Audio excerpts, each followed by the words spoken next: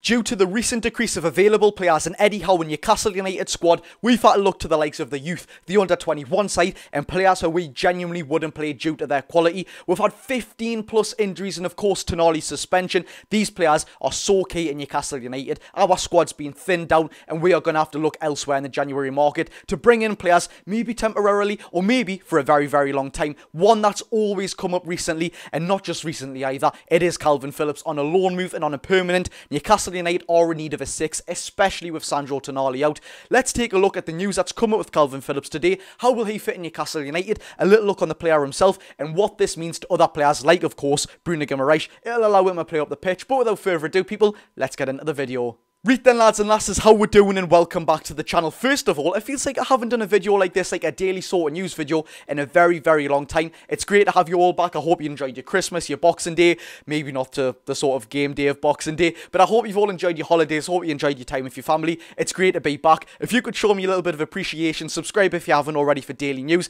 and of course like the video, it goes a long way. Honestly, it does, it pushes out to more people. I thank you very much for that. Now, without further ado, let's get into the news what we've been brought today. Of course on Kalvin Phillips. This news that that the one I'm going to touch upon now actually come about yesterday, approximately 22 hours ago as I'm recording now. From Telegraph Football, Newcastle United are wanting to open talks to get Kalvin Phillips on loan to Newcastle United. It also says that we are confident we can seal the loan deal. Now, something we're going to get on later too in the video is that he has an absolutely extortionate fee, or Manchester City won an absolutely extortionate fee for what would be a six-month loan deal, of course, until the end of the season. We'll get onto that later because that is genuinely scandalous for Manchester City. I can't believe they even want that much because he's he will get onto his statistics, but he's barely played a minute for them. Anyways, like we said, Newcastle United are confident they can seal the loan deal of Kalvin Phillips. Let's be real, he's not every single person's favourite, is he? But Newcastle United are interested, or not even interested. We do need a six, a CDM, a midfielder, however you want to say it, the pivot of the team. Not only does this allow Bruno Guimaraes to move up the pitch into the attacking areas where he's absolutely superb at, and where we create more as a whole team, where we can be more creative, where we can create more chances and score more goals and win more games. It's pretty self-explanatory. We do need a six, and Kalvin Phillips not in favour of Manchester City. There's what? At least five, six midfielders ahead of him. He's not even cover. I mean, they've got fantastic midfielders like Rodri, Phil Foden could be classed as midfield. I know he's more so of a winger, but Bernardo Silva, yet again, more so of a winger. Kevin De Bruyne, Matheus Nunes, Kovacic, that's six midfielders they would probably play ahead of him. Of course, them two are wingers with Bernardo Silva and Foden, but he's not in favour there whatsoever, is he? Newcastle, we're going to say this again, we, we do need a sixer. Let's Bruno go up. Bruno and Joelinton can have that fantastic partnership, what they did have last season as well. I am all for this, right? There is one thing, though, that stands in the way before we get on to even more news, likewise, of the, the sort of transfer fee that they do want for the loan deal Manchester City. It's not just the fact that he is a good player. Of course, he's not played at Manchester City. They are an unbelievable team. And some people may say, well, if he's not good enough for Man City, why do we need to get him? Let's be real. We'll have fantastic ambitions, but we know we're not on the level of Manchester City yet. Kalvin Phillips is a very good player. We've seen that we've seen sort of glimpses of that at Manchester City. I know we barely haven't, but glimpses is a very strong word. That's why, hence why we're using the word. But it Leeds under Marco Bielsa. He was very, very good. Some people may say sideways passing, but for me, he just is a very, very good six. Newcastle United need that right now. I'd be all for this. But the big one, would he fit in Eddie Howe's system? Is he even fit enough to fit in Eddie Howe's system? I don't like sort of body shaming, but he does look a bit chunky, right? And that's not body shaming whatsoever. He is in the industry of football. In football, you need to be an athlete. You need to have 5% body fat or something. For Kalvin Phillips, he doesn't look fit enough like we know of Anthony Gordon when he first came to Newcastle, he said he wasn't fit enough to play for Anthony Gordon, a 20 year old lad or 21 year old lad, 22 year old lad, 23 year old lad, however old he is, I can't exactly remember. I believe he's 21 or 22 years old. Uh, he's absolutely, he's absolutely fit, isn't he? I mean, he's rapid, he's skinny as. He said he wasn't fit enough to play for Newcastle. Then what does that mean about Kalvin Phillips? I mean, of course he is going to be playing as a six. He's not going to be all over the park. He's going to be staying in that defensive position. He will be progressing on, of course. Though I would love to see him in a Newcastle shirt, but yet again, is he going to be fit? Is he going to fit in the the pressing, high intensity? A lot of games getting played, not so much now because we're at the Carabao Cup in the Champions League. Newcastle United. One thing about this deal, though, it's not going to be a long term deal, is it? I believe it's just going to be a deal until the end of the season, of course. I don't believe we'll get him on a permanent because Sandro Tonali, who you know I rate so highly, is coming back. I believe it's the third or fourth game week. Someone said that, I think it was Lee Ryder from the Chronicle. Sorry if I've got that wrong. I think that's where he's from. Uh, actually posted a tweet about that. Sandro Tonali can fit in that six no matter, but he can also play as an eight as well. Fantastic footballer, as we all know. It's a shame what's happened, but Kalvin Phillips for right now, it would be fantastic for Newcastle United. Now, without further ado, let's take a look at what Manchester City want for the six month loan deal, for the sort of not permanent, but what's the type of word? Just not permanent loan deal for a six month loan deal, of course, until the end of the season, from January until the end of the season.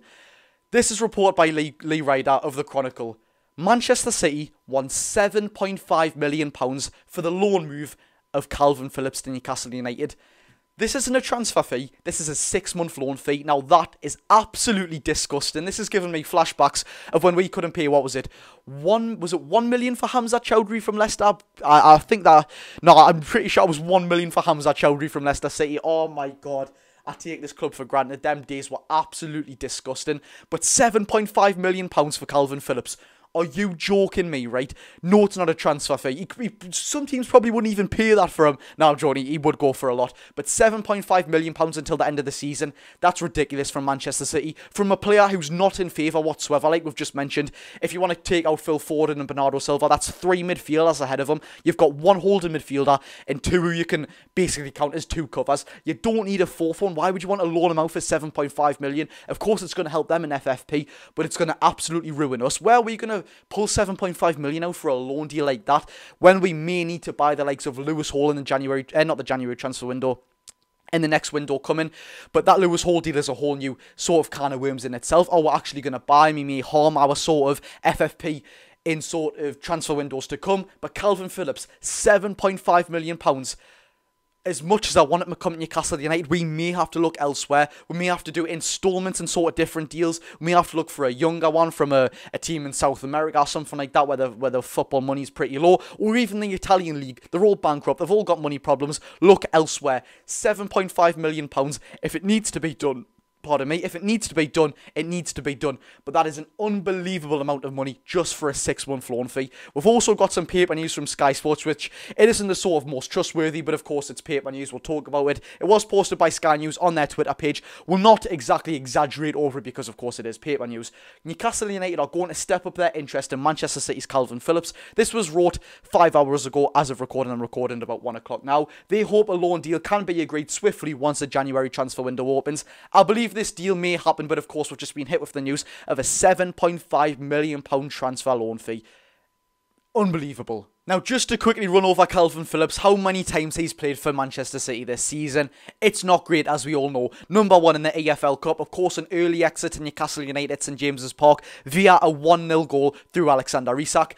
He played the full 90 minutes he didn't do nothing. Look, as much as I would like to praise him because he, he may be a Newcastle United player, he was absolutely anonymous in that game. I didn't even take note of him, which I probably should have because, of course, he's been linked with Newcastle United so much. In the Champions League, four games, one start, I believe it was, an average of 33 minutes in the competition. What do we need to say about that? One goal, which I do believe came away at Red Star Belgrade. And of course, in the Premier League, averages 24 minutes a game. Four Premier League appearances for him. I don't know how many starts. I believe it's actually none, but I may be wrong.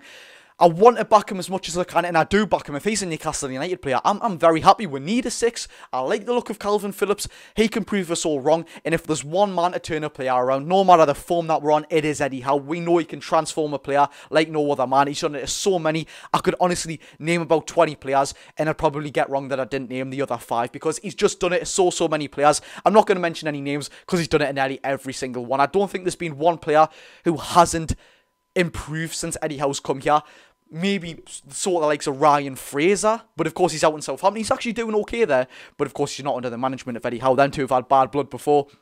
But apart from that, Kalvin Phillips may be a Newcastle United man in January. Would you take him at Newcastle United? Personally, I wouldn't be against it whatsoever. I like the player. We need a six. Is he going to be fit enough? Would he fit in Eddie Howe's system?